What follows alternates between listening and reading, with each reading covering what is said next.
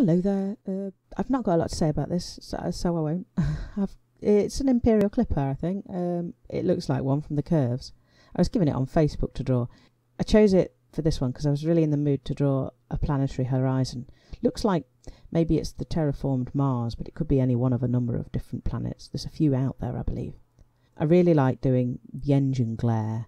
It meant that I could draw that whole bottom right corner kind of blue and then put bright white on it. It made it really fun. And I enjoyed the, um, the, the contrast between the blackness of space and the planet as well. Anyway, it was good fun. Cheers.